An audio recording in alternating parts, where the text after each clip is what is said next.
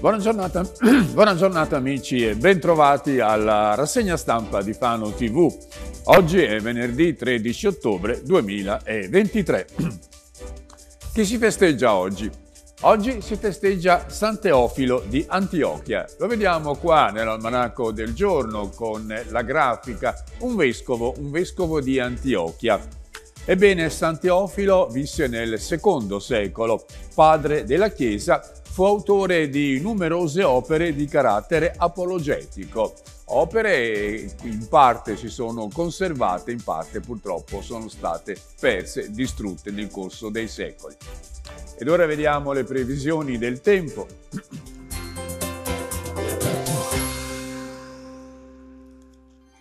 Ecco la grafica, abbiamo tempo stabile con velature di passaggio e locali nubi basse al mattino lungo le coste. Le temperature sono stazionarie, 15 la minima, 23 la massima. Nell'interno i venti ispireranno da sud-est, mentre nella costa da nord-est. Il mare è leggermente mosso, è una situazione del tempo che è un po' la fotocopia di quella di ieri. E oggi apriamo il Corriere Adriatico sulla pagina di Fano e vediamo come l'apertura è dedicata ad un problema che è un po' un problema comune in tutta la provincia, quello delle antenne della telefonia mobile.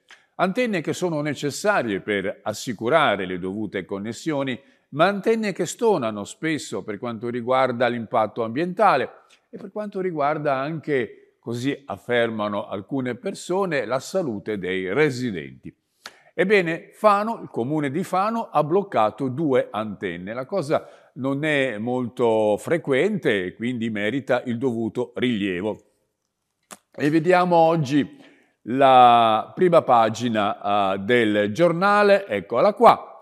Antenne Iliad e Vodafone, stop alla loro installazione, dice appunto il Corriere Adriatico. Il comune ha bloccato i lavori sul campanile del Duomo, vediamo qui la fotografia, e via Capellini a sud del fiume Metauro. Eh, quella del Duomo è di Iliad, quella a sud in via Capellini a sud del fiume Metauro e della Vodafone. C'è una certa confusione, dobbiamo dire, per quanto riguarda la normativa che regola eh, l'applicazione, l'elevazione delle antenne.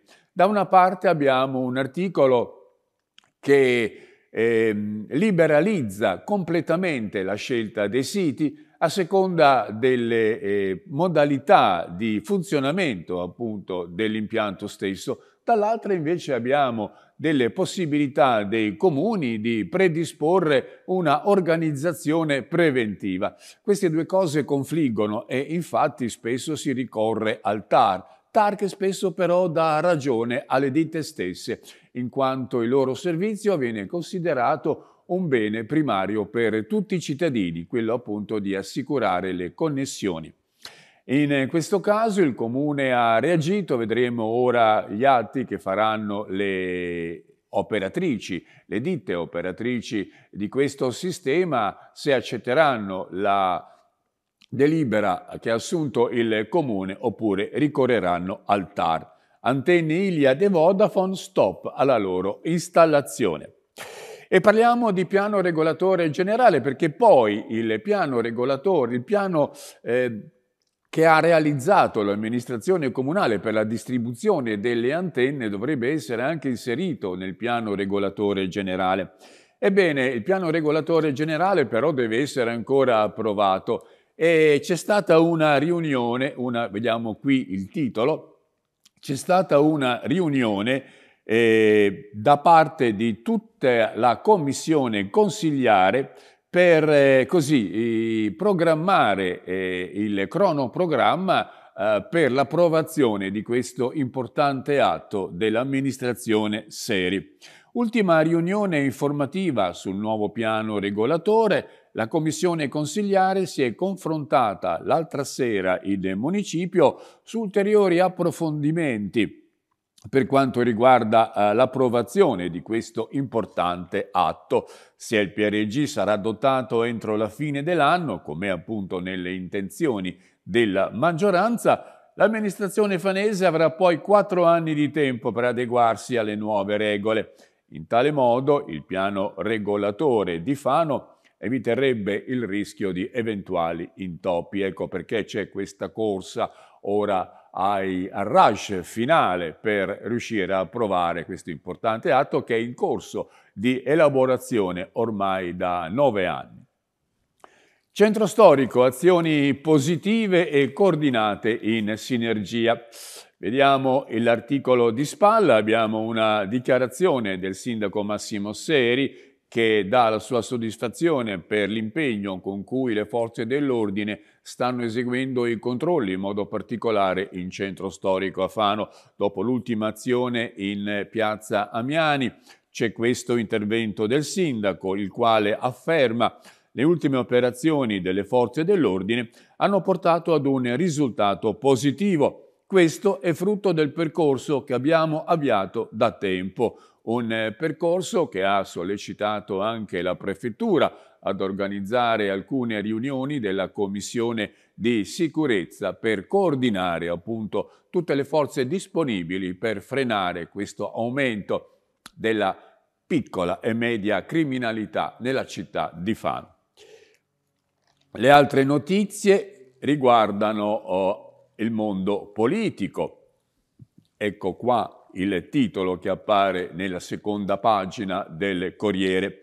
Prima il programma condiviso, poi il candidato. C'è stata una parte del centro-sinistra che si è riunita nella sala del Cubo a San Lazzaro, una riunione che è stata organizzata dall'AMPI, la quale ha chiamato le forze, di, le forze progressiste a comunque a cercare una condivisione per presentarsi unite alle prossime elezioni amministrative. In sostanza una prova di campo largo tra partite e liste progressiste. C'erano però diverse assenze significative. Infatti il sindaco e alcuni suoi sostenitori non si sono presentati e questo ancora lascia un po' eh, lascia evidenza, non un po', lascia in modo chiaro evidenza come ancora nel centro-sinistra esistono delle eh, divisioni, dei distingui. Comunque si tratta di superare questa situazione di stallo in modo da contrastare poi il centrodestra. Gli assenti. Unanime l'auspicio che possano esserci ai prossimi confronti tutte le componenti del centro-sinistra. Il programma condiviso precede l'individuazione del candidato sindaco, lo ha detto Teodosio Auspici di Fano Ribella e il concetto è stato ribadito anche da altri interventi. C'è stato anche un intervento di Renato Claudio Minardi eh, segretario del Partito Democratico, il quale ha detto dispiace che non ci sia il centro-sinistra al completo. Insomma, sono tutte palpabili ancora le frizioni sui temi come sanità, biodigestore, variante Gimarra, ruolo della città tra Pesaro e Fano, insomma sono situazioni ancora che scottano e devono essere sanate. Vedremo che cosa accadrà, vedremo che cosa accadrà. Passiamo ora a Fossombrone, dove si dà il via, ecco qua il titolo, dove si dà il via ai giardini di Viale Cairoli. Dopo i ritardi ora si parte. Cambiata la ditta appaltatrice, entro 15 giorni si dovrebbe dare l'avvio al cantiere a Fossombrone. Entro il mese dunque si insedia questa nuova ditta che dovrebbe completare l'intervento di Viale Cairoli, un intervento che riguarda la ripulitura e la sistemazione delle opere dello scultore forsempronese Bruno Bianchi, e si tratta anche del busto, si tratta soprattutto del busto di Anselmo Bucci e della fontana centrale, caratteristica com'è come è stata realizzata, è un'opera cara a tutti i fossempronesi. E poi abbiamo a Colli al Metauro invece l'adeguazione sismico per la scuola Rodari. Asilo e materna, previsti anche interventi di efficientamento energetico, cantieri aperti per l'adeguamento sismico di, questo, di questa struttura che accoglie la scuola materna e l'asilo nido comunale. Risultati davvero di tutto rispetto Nel primo caso il Comune ha ottenuto un contributo di 600.000 euro e ha cofinanziato l'opera per altri 100.000. Nel secondo il finanziamento ministeriale a fondo perduto è stato di 700.000 euro.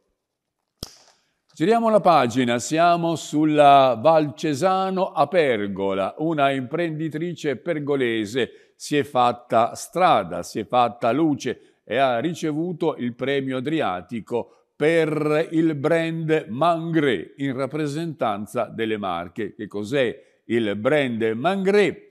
È un brand di prodotti professionali per le unghie, nato nel 2020 Artefice del progetto innovativo e di successo è l'imprenditrice Greta Mancinelli, giovane e tenace donna pergolese di 33 anni. Eccola qua con il suo diploma in mano.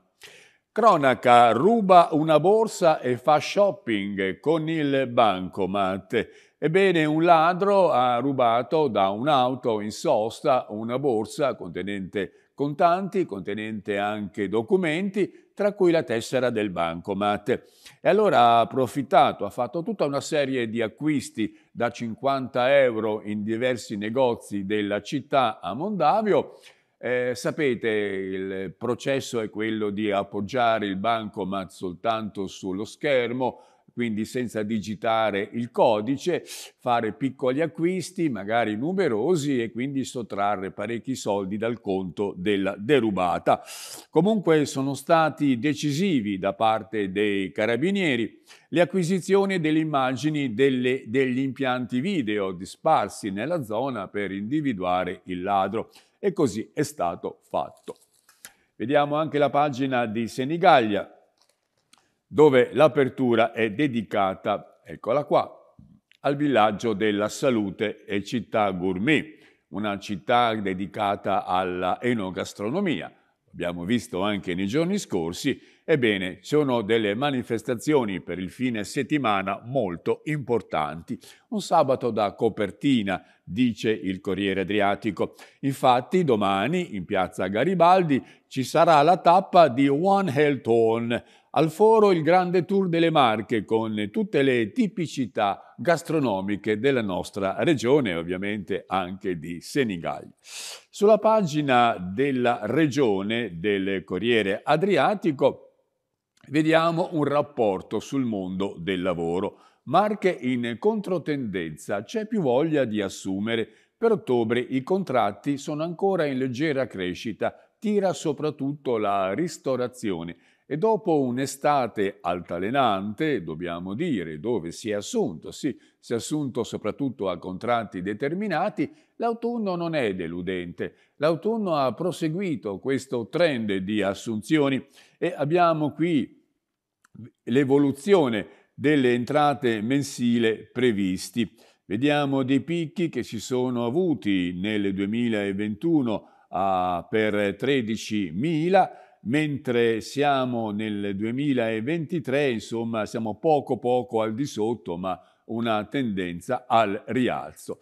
Non trovo un cameriere disposto a servire, a servire sul set, lo ha detto Fabrizio Balanca, eh, cofondatore e manager del ristorante di Fabriano e quello dei i cuochi, dei camerieri, dei ristoratori è un problema che ancora non si riesce a risolvere, nonostante che ci siano ancora dei disoccupati. Si vede che questi posti veramente non attraggono.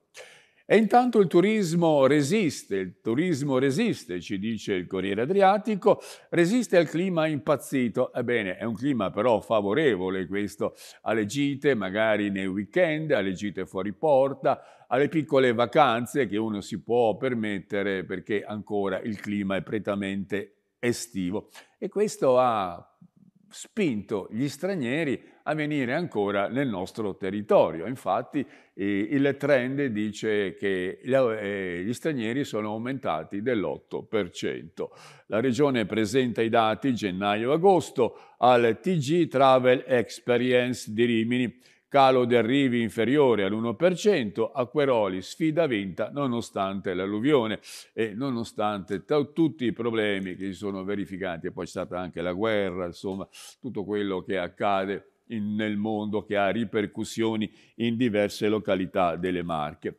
Una statua per Pavarotti davanti al Teatro Rossini è quello che ha deciso di realizzare il sindaco Matteo Ricci, eh, la statua emblema del più noto cantante al mondo eh, di questo secolo, eh, al momento almeno, per l'opera lirica eh, che si intona ovviamente con la funzione del teatro Rossini. L'annuncio di Ricci e Vimini nel giorno dell'ottantesimo compleanno del maestro.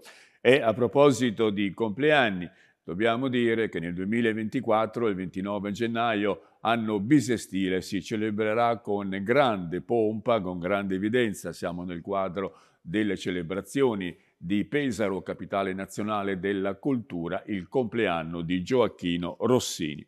Per il San Benedetto il comune accelera e sferza la regione, acquisirà le parti dell'azienda sanitaria territoriale per realizzare delle residenze sociali. La delibera va in consiglio, una partita questa che vale 3 milioni di euro. Mattioli fatta la nostra parte, ma gli altri, Anna Maria Mattioli dice questo, ma gli altri che cosa decidono di fare e la risposta quindi deve ancora venire a questo problema. Giriamo la pagina e parliamo di autismo. Parliamo di autismo, un problema sociale, un problema sanitario che è comune a diversi centri della regione, del regione Marche, della nostra provincia. Strapieni i nuovi centri diurni, bloccando via Alfano si è perso tempo. Lo dichiara l'assessore al welfare Luca Pandolfi. Le famiglie sono in difficoltà perché non trovano le strutture adatte. Pandolfi conferma il valore della sentenza del Consiglio di Stato. Questa è una sentenza storica, rivoluzionaria, che il Consiglio di Stato ha dato sui diritti dei bambini e giovani che soffrono appunto di autismo.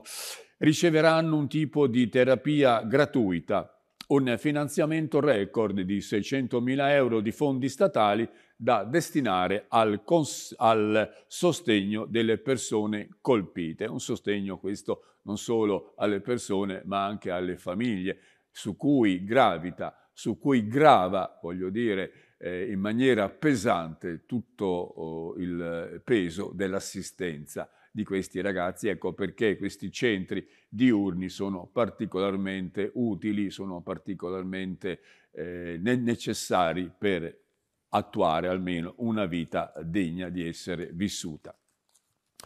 In centro il presidio blindato per la Palestina. Questo articolo ci riporta un po' alla cronaca nazionale che i giornali evidenziano su tutte le prime pagine per quanto sta accadendo in Israele. Niente piazza del popolo, ci sarà una manifestazione però in piazzale Collenuccio. Ebbene, il centro blindato per la Palestina, perché ci sono anche dei manifestanti che manifestano in favore del popolo palestinese. Forse anche lui vittima di Hamas in questo momento si trova veramente in una situazione disastrosa per quanto riguarda questo conflitto atroce, da una parte bambini decapitati, dall'altra eh, milioni di persone senza acqua, senza luce, eh, beh, insomma, sotto i bombardamenti e via dicendo. Ma quelle sono notizie di cronaca nazionale e non tanto. Ragazzino lo accusa di avance in chat, l'allenatore finisce di nuovo nei guai, una vicenda che viene rievocata dal Corriere Adriatico per quanto riguarda questo tipo di adescamento che si è verificato in passato. Si tratta di un quattordicenne, aveva 14 anni all'epoca dei fatti, che sarebbe stato avvicinato con intenzioni non chiare da parte dell'allenatore eh, dell'allenatore di tennis, mi sembra di ricordare, eh, per quanto riguarda questa vicenda. L'uomo aveva già patteggiato per adescamento di minori, il 14enne ha denunciato videochiamate e messaggi.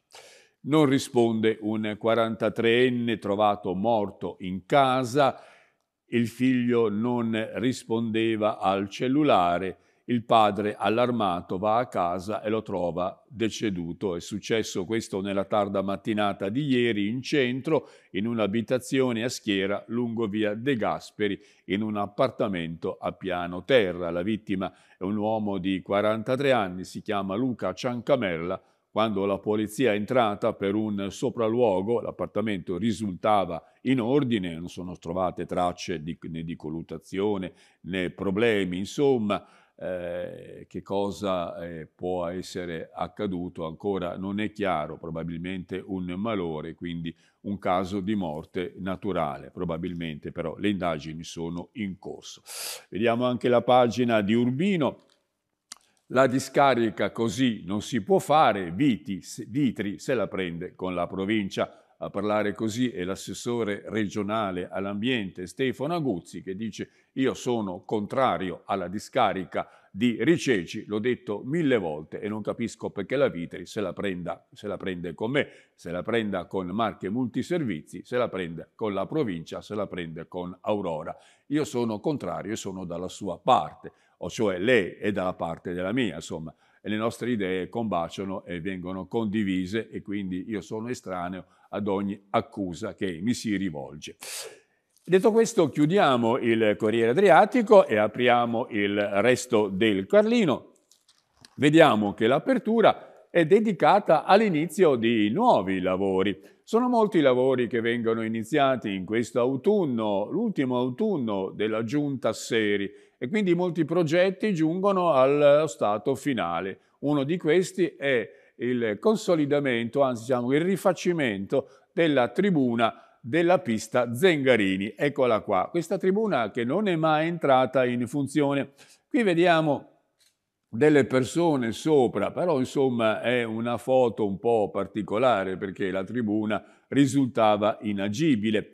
Partono finalmente i lavori con un mese di ritardo al Zengarini. Si ristruttura tutta la gradinata che 30 anni fa era nata già zoppa, già insomma eh, eh, sembrava che insomma, la ditta che l'aveva costruita non avesse osservato completamente i termini del progetto.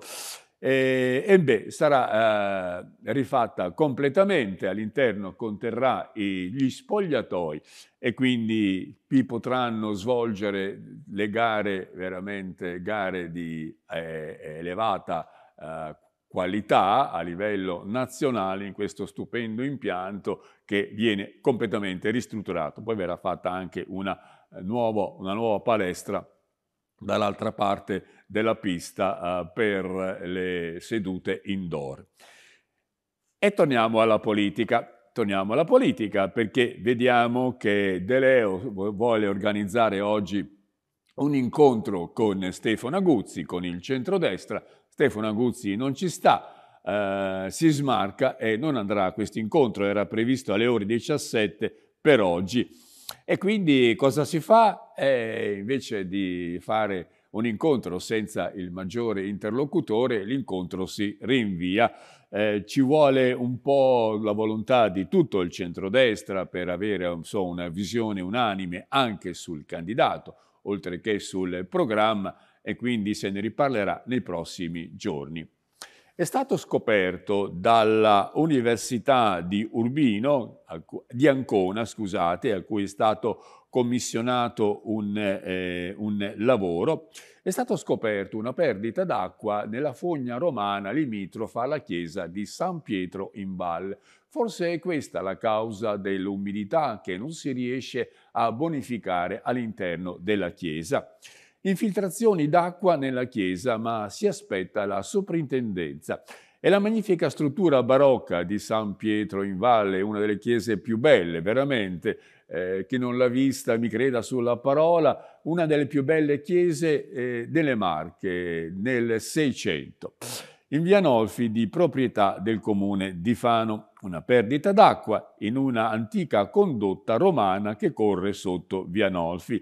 Ebbene, questo sembra emergere dallo studio condotto dalla Università Politecnica delle Marche, che sta, condotto, che sta conducendo sotto incarico del comune di Fano tutta una serie di analisi, di accertamenti per cercare veramente l'origine dei problemi che interessano San Pietro in valle ed ora almeno questa potrebbe essere una causa o almeno una concausa per correre ai ripari.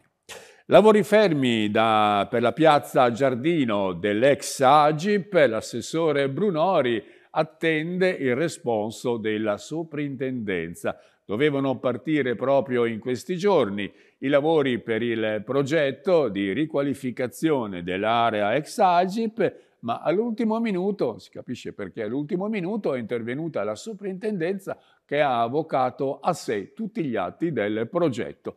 E speriamo che il parere della soprintendenza non giunga alle calende greche, perché di solito è un parere eh, laborioso che richiede tempo e procrastina assai poi eh, la realizzazione del progetto. Dovevamo già partire. Invece sta per partire il sindaco Massimo Seri, eh, il quale va in Polonia e poi a Kiev.